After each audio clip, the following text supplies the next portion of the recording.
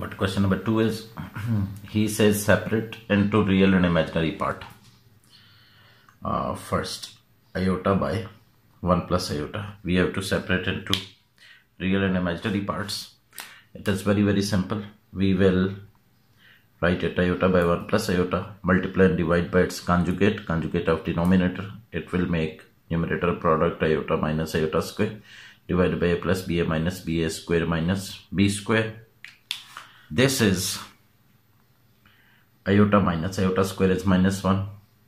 This will 1 iota square again is minus 1. We will mention it iota square equal to minus 1. And after it, it will be iota plus 1 by 2. 1 by 2 is real part. 1 by 2 iota is imaginary part. This is answer. So then we can move to next. He says simplify. Second part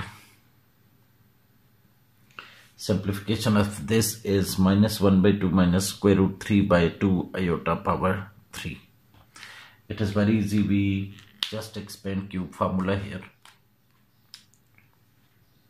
If we take minus 1 common then these both will be positive. 1 by 2 plus square root 3 by 2 iota cube. Now it is a plus b whole cube. This is minus 1 obviously minus 1 cube is minus 1 will stay out here. We can take cube of this values inside bracket a cube plus b cube.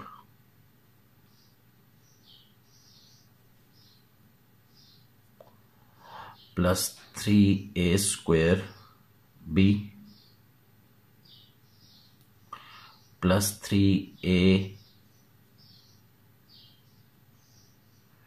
b square. So we will simplify it. All these will be negative. Now we can see. Uh, all these will be negative. This minus sign can be used inside. It will be minus 1 by 8 then we know that what is it? Plus sign becomes minus sign here. It is uh, 1 by 2 square becomes 1 by 4 becomes 3 by 4 3 combines with this square root 3 3 square root 3 by 4 here multiply by 2 8 iota.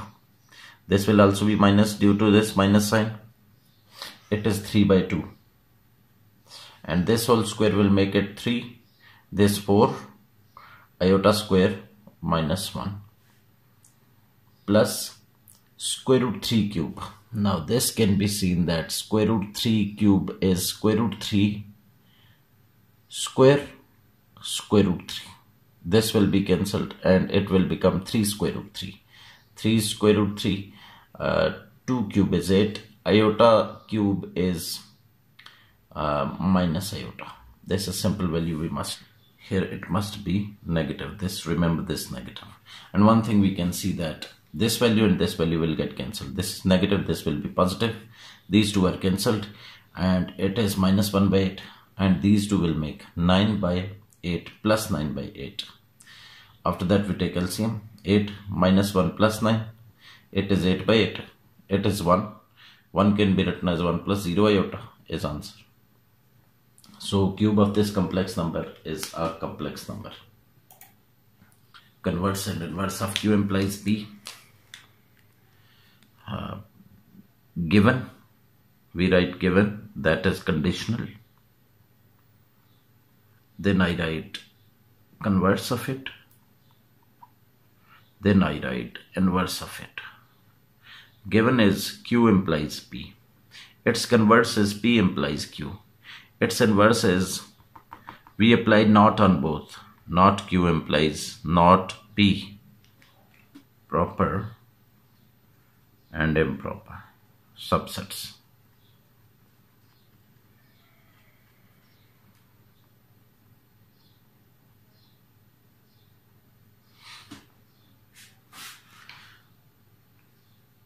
A set, a non-empty set, or we must write a set A is said to be subset of set B if all elements of A are elements of set B. At least one element of set B is such that it is not the element of set A, then set A is proper subset.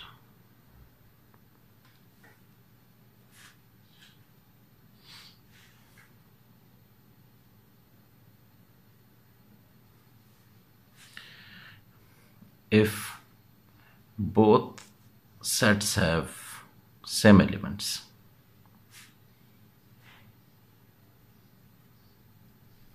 Both have same elements. Then both sets are improper subsets of each other.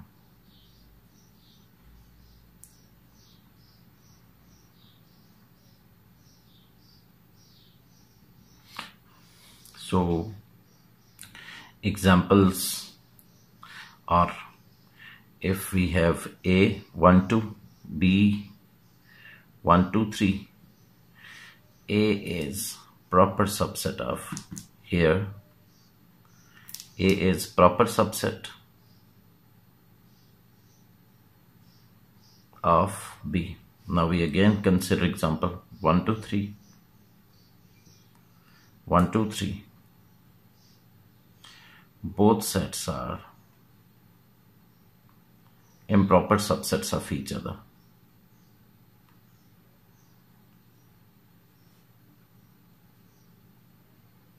Okay, dear students, next question. 3 minus 4, 5. This is A and we require its inverse. A inverse is demanded. we require its determinant. Minus 2 3 minus 4 5 uh, product of 5 minus 2 minus product of 3 minus 4 it will be minus 10 plus 12 will be 2 this is 2 which is non-zero so inverse is possible. The other thing we require is adjoint. Adjoint of a. How we find it? Adjoint. We change these two elements position and these two elements sign. Inverse is a inverse is 1 by determinant into adjoint of a. So easy to use these values. This is 2 and this is 5 minus 3 4 minus 2 and inverse is right here it is 5 by 2 this step is called scalar multiplication. As we multiply 1 by 2 inside 1 by 2 will make it 2 and 1 by 2 will make it minus 1 this is a inverse is also. Difference between into and onto function. A function from set a to b denoted by f from a to b is onto if range of the function is equal to b and into if range of the function is subset of b. So difference is quite clear. And onto case range is equal to set b and into range is subset of set B. So quite easy to differentiate. So number 7. Let this be A. A is A11. This is 21, 22. 1112, 2122. Its transpose can be written. What is transpose? This is column, make it row A11, A21 second column becomes second row. 1 2 2 2 right. Both are these we have. So we find their determinants. A determinant is quite simple. We know that a1 1 a2 2 product of these two minus product of 1 2 a2 1 a transpose determinant we evaluate product of these two. 1 1 2 2 main diagonal elements product minus secondary diagonal product of secondary diagonal elements so clearly we can write clearly A determinant is equal to A transpose determinant.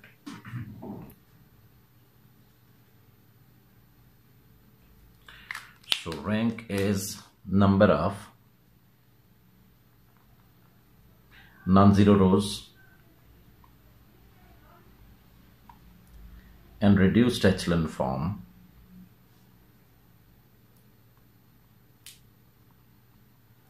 of a matrix is called its rank.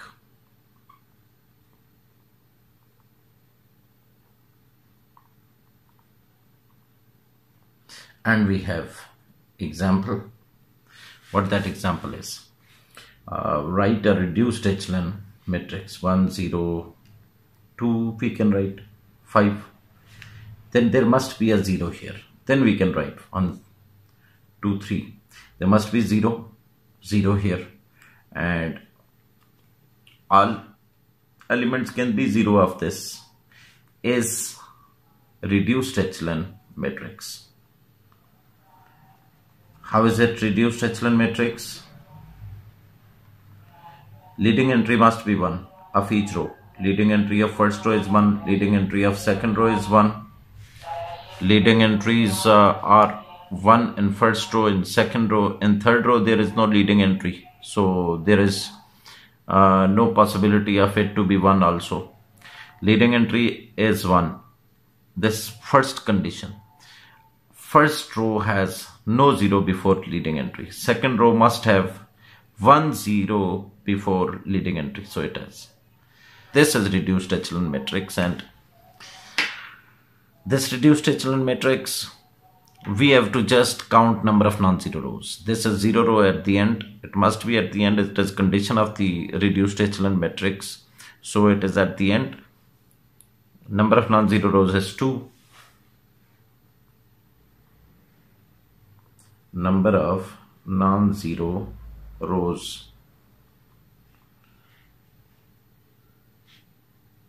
rank is equal to rank is equal to number of non-zero rows non-zero rows are this is non-zero row this is non-zero row. So rank is 2 so with example we explained it. It is 15x square plus 2ax minus a square equal to 0 using quadratic formula we have to find solve it. Here we write a 15 b is 2a c is minus a square.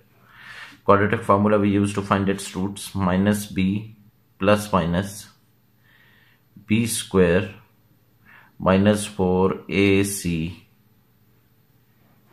divided by 2a a is 15 so we can see that what it is minus 2a plus minus it will be 4a square plus 60 a square. It means it is 64 2 into 15 will be 30 x is equal to minus 2a plus minus. This will be 64 becomes 8. a square root is 8 divided by 30.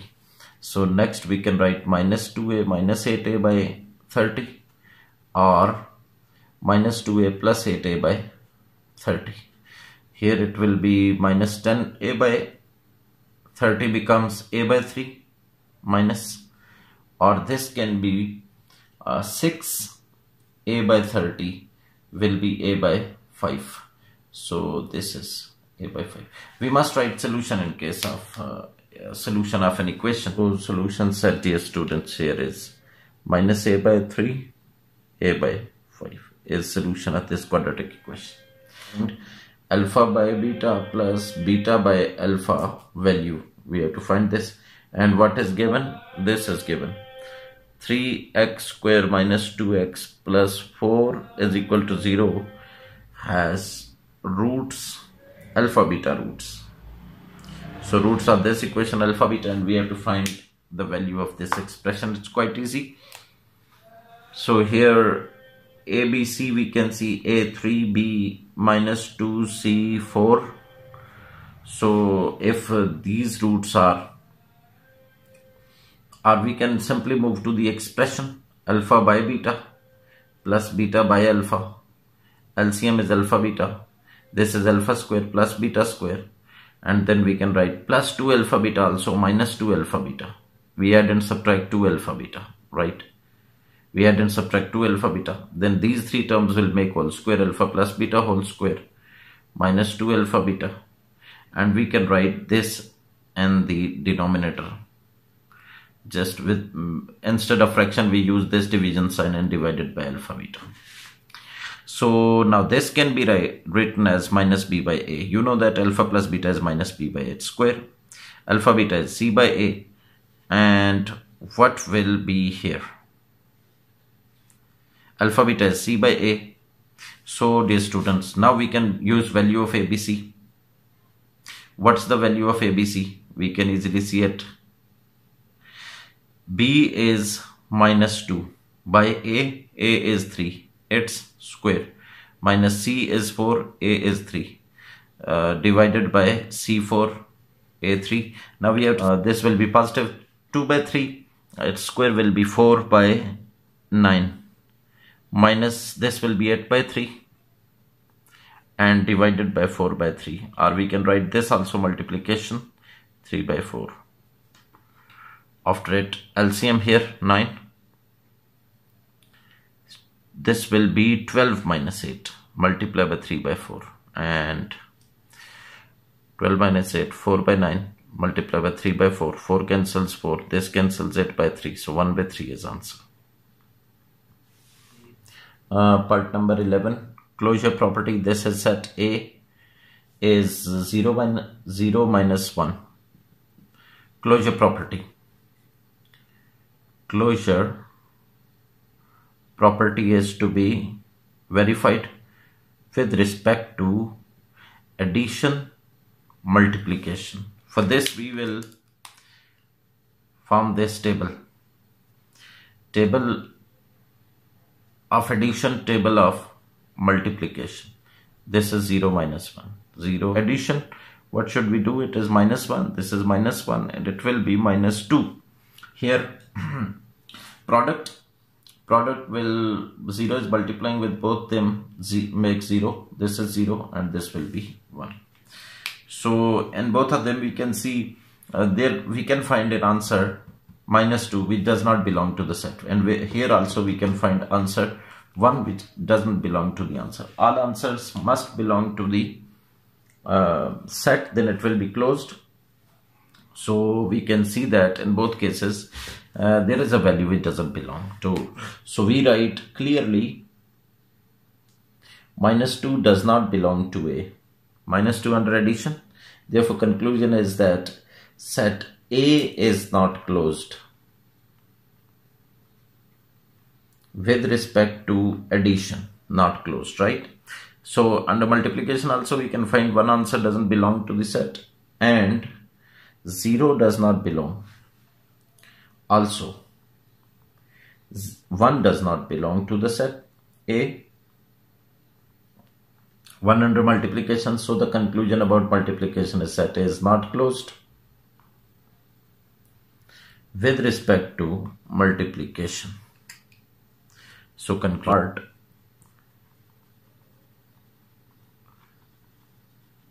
roots of this equation p plus x p plus x p plus q times x square minus px minus q equal to 0 are rational. So first thing we find here are the values of ABC. Here ABC are A is P plus Q, B is minus P, C is minus Q and then we evaluate discriminant Discriminant is b square minus 4ac. What is b? b is minus b. It's square 4a. a is b plus q. c is minus q. So now we hope that it will be a perfect square. When it will be perfect square, then our conclusion will be that roots are rational. So let's simplify this. It will be p square uh, these two minus sign will make plus 4pq plus 4q square. So it is p square plus 2ab plus b square. It can be written as and then we know that p plus 2q whole square. We write which is perfect square. Perfect square. Hence we say roots are rational so this is conclusion